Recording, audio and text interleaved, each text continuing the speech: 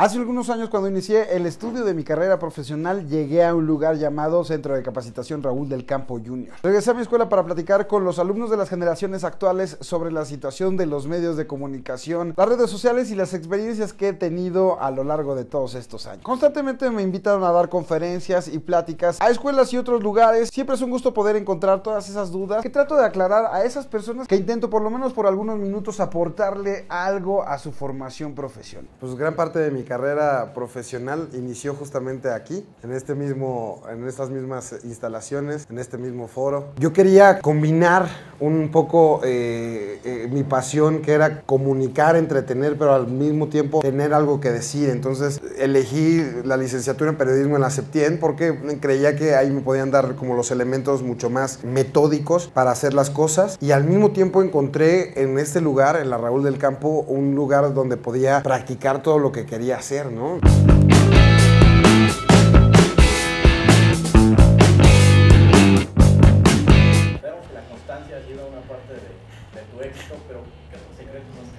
Pues sí, como dices, primero la constancia. Creo que una fra- frase trillada que a lo mejor ya he escuchado varias veces, que esta carrera no es de velocidad, sino de resistencia.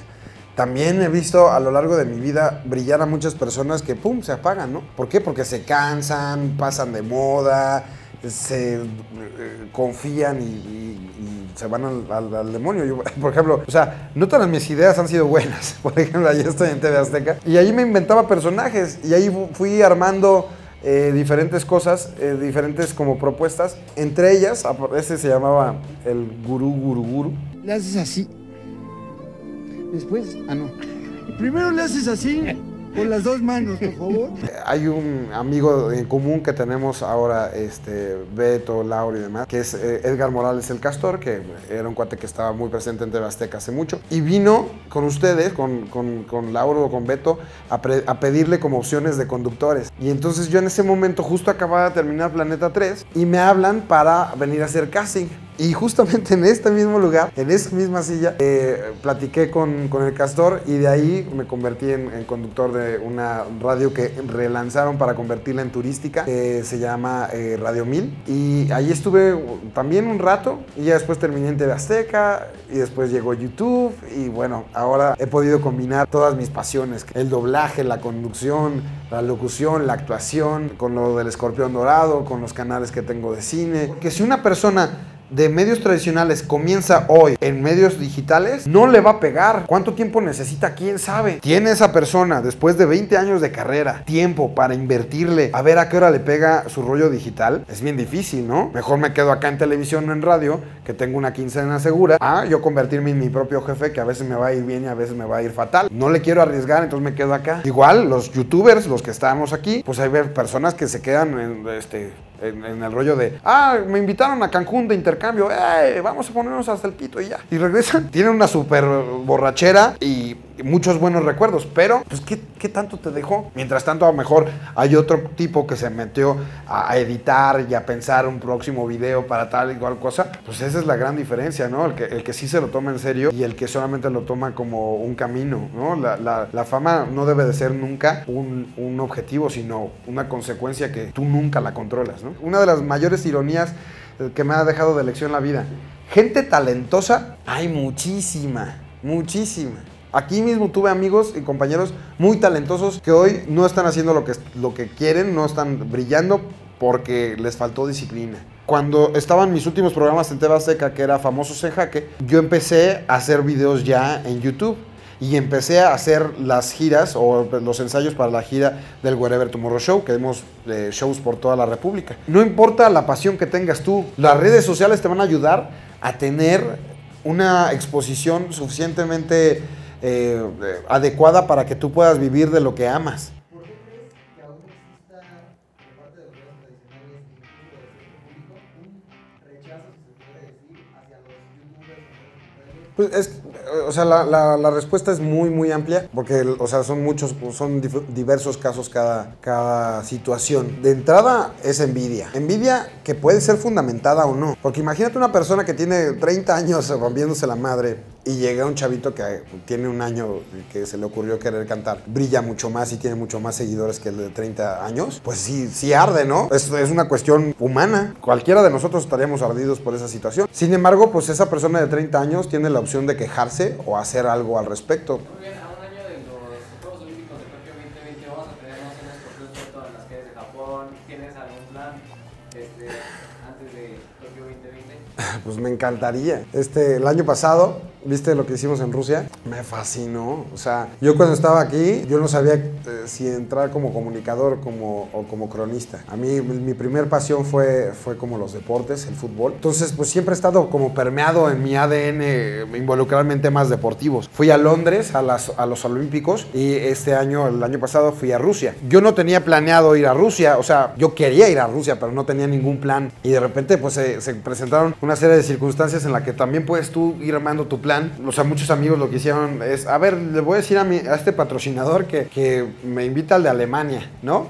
Al México-Alemania, y a ti al México-Suecia, y a ti a México-Corea, y entonces fueron armando su, su itacate de patrocinadores para poder estar presentes. Me encantaría estar en Tokio, voy a hacer todo lo que eh, sea posible para, para estar por allá. Obviamente en cada proyecto también tú vas ponderando qué es lo que te interesa, qué es lo que vale la pena, hasta dónde vale tu trabajo y hasta dónde eh, debes de, tener claro eh, qué es lo que quieres con él. Hay personas que lo pueden hacer simplemente por intercambio, decir, con que me lleven. Con que me lleven, yo ya estoy por bien servido porque puedo sacar contenido. Y otras personas, como es mi caso, pues con que me lleven no es suficiente porque voy a estar un mes fuera de mi casa, fuera de mi familia, y entonces tengo que buscar la forma de combinarlo, como fue en el caso de Rusia, que logré llevarme a mi, a mi familia a la mitad de- del torneo para que no hubiera tanto problema en ningún sentido, porque tienes que también equilibrar tu vida personal, ¿no? Tú sabes, o sea, están en muy buena edad ustedes para invertirle el tiempo que sea necesario y partirse la madre ahorita en los primeros años para después recoger los frutos y poder ya después poner ustedes sus condiciones, ¿no?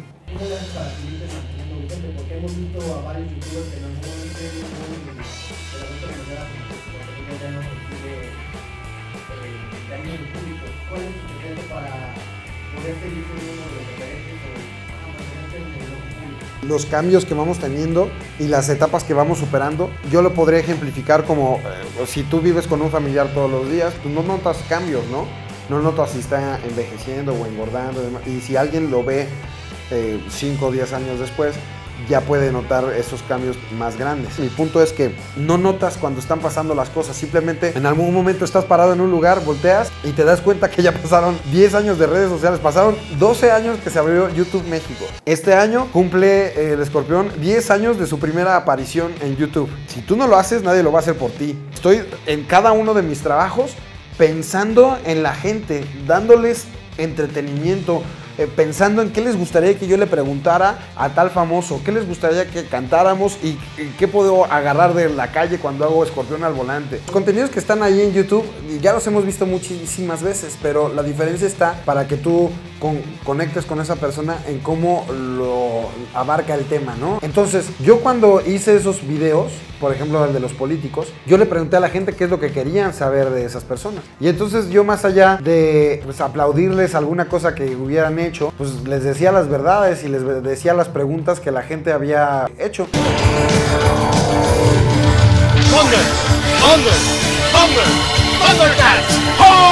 Entonces, pues la verdad es que para mí fue un balance sumamente positivo hacer esas entrevistas porque les pregunté lo que nadie les había preguntado, les hablé como nadie nunca les había hablado a ningún político en un medio de comunicación y ellos se prestaron a hacerlo pues porque sabían que, los, que, la gente está cambiando y que, y que los quieren ver de forma distinta. Para mí está increíble que podamos eh, hablarles del tú a tú y sin tanta reverencia a unos, a unos políticos así. Y a mí, en lo personal, eso me ayudó muchísimo, me dio más credibilidad de la que yo pudiera tener y sentó un precedente para que cada vez más personas se atrevan. Después de, de que grabé eso, vino luego, luego lo de Rusia. Ya no pude concretar eh, subir a Andrés Manuel y subir a Naya. Ya habían dicho que sí. También quisieron subirse en ese momento prácticamente ahí sí todos los candidatos de, de gobierno a la Ciudad de México y tampoco lo pude hacer porque ya me tenía que ir, ¿no? No voy a manejar así.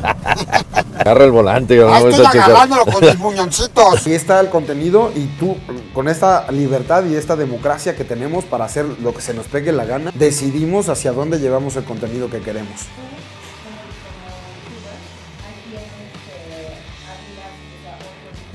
Eh, mi, mi, mi formación y mi admiración fue eh, con muchos referentes, ¿no? Primero de la, digamos que los medios tradicionales, gente como Eduardo Videgaray, que yo considero uno de los mejores conductores de México. Eh, ese crossover que se puede hacer en el 360, pues admiro muchísimo a Jimmy Fallon, ¿no? Como un eh, showman que pueda tener su late night.